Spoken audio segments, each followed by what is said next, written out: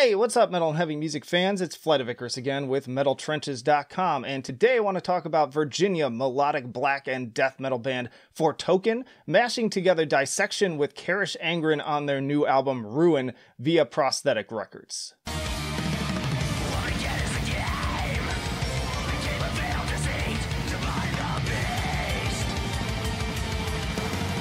Now, Foretoken was introduced to me as a melodic death metal band, but I challenge you to listen to the ominous opening tremolo lines of Bewildering Duress and not think of Storm of the Light's Bane. Between this, the raspy vocal style, and ghostly atmosphere of the synths, this very much feels like a black metal record that just so happens to have some Gothenburgy elements attached to it.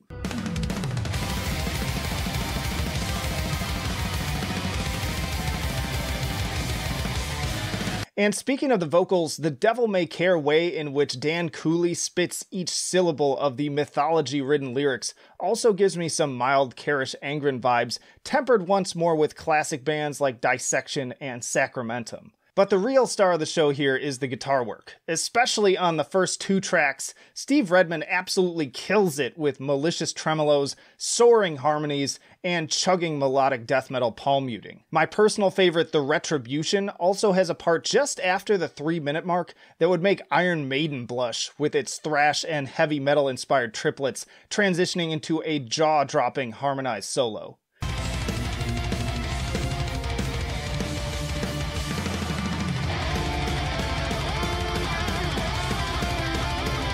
Pair with this Steve's equally exemplary work on the orchestral compositions and the addition of Triptykon, Hate Eternal, and Ex Obscura, just to name a few of his other projects, drummer Hans Grossmann, and you can expect a serious thrill ride of accomplished musicianship.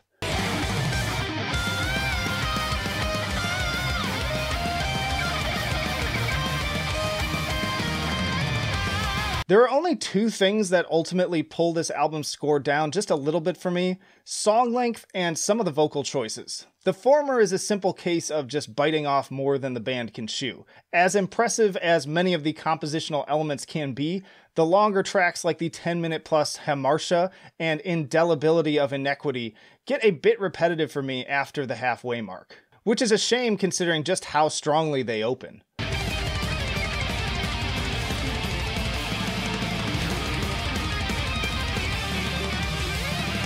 As for the vocal issues, Dan is trying to jam way too many words into each measure. It definitely feels like he wrote out these epic, almost Homeric mythologies in advance, and then rather than tweaking them to fit the music just right, chose to belt out every single word regardless of whether they fit into any sort of logical cadence.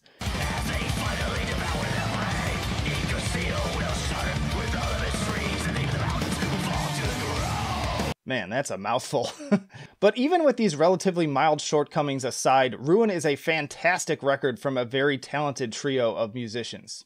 It has some of my favorite Blackened performances of the year, and its emphasis on riffs should be a serious selling point to the guitar enthusiasts out there. I give Ruin an 8 for enjoyability. I'm toying with kind of leaning towards a 9 at this point. Every listen, I seem to enjoy it just a little bit more, but when I compare it to some of the other albums that I really love this year, it falls just a little bit short. I give it a 9 for musicianship. Fantastic stuff here from the songwriting to the performances, but again, there are those kind of repetitious parts that keep it from having a 10. And then I give them a 7 for innovation.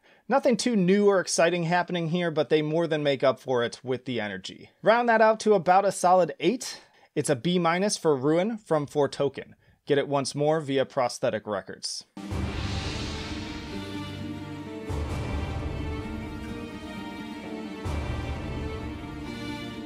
Y'all, thanks as always for watching, and let me know down in the comments what you think of this album, and also what's your favorite black metal album of 2020 so far. And stick around because there's plenty more videos coming up, not only more album reviews, but also Bandcamp explorations, interviews with bands on the podcast, album tier lists, you name it, we've got it. So plenty of reasons to, again, subscribe if you haven't already. Also in the description, you can find links to our social media, the email newsletter, metaltrenches.com, and our Patreon and Subscribestar if you want to make that extra jump to becoming a full-on supporter. Thanks to all the people who have already signed up on Patreon, and special thanks this week to David Dines, who signed up at the $10 tier level. You're really helping keep this channel alive. But that'll do it for now. Flight of Icarus signing off. I will see you in the trenches.